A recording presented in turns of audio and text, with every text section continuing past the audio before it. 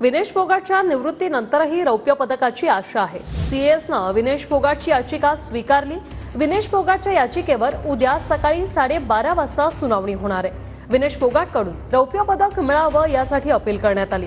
विनेश फोगाट प्रकरणात हरीश साळवे बाजू मांडण्याची शक्यता आहे.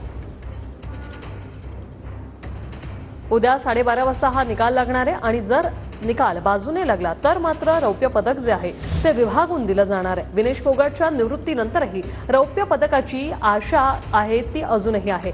सीएसनं विनेश फोगाटची याचिका स्वीकारलेली आहे. आणि या संदर्भात उद्या सकाळी साडेबारा वाजता सुनावणी होणार आहे.